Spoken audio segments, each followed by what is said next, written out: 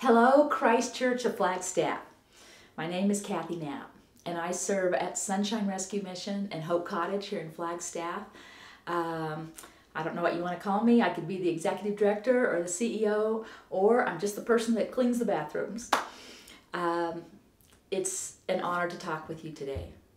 I so want to thank Christ Church of Flagstaff. You guys have been foundational partners to everything we do for years and years and years. And when I say foundational, you you are just there year in and year out.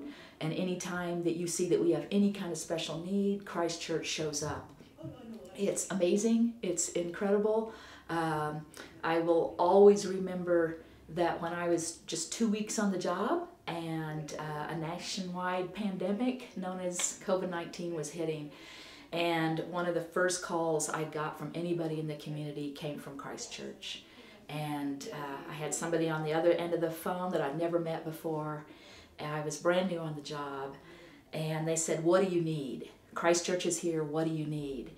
And at that point in time, I, uh, you know, I was trying to figure out how to continue to feed 250 people a day or 250 meals a day, uh, how to keep all of this going.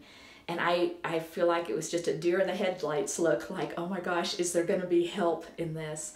And the voice on the other side of the phone said, You didn't think you were in this alone, did you? And I will never be able to thank all of you enough for that kind of support. Um, you're, you're, you're just always here for us. Um, and we thank you. We couldn't do it without you. I actually have some super exciting news in that we um, we have just closed on a new healing property for men. And yes, it's going to be an eight year journey, completely getting that paid for. Um, but it is going to allow our ministry on the men's side of the ministry to grow in a way that it hasn't grown uh, since we started in 1957. So, um, Hope Cottage is a safe healing place for women and kiddos. Um, we will now have a safe healing place also for men that is an equivalent.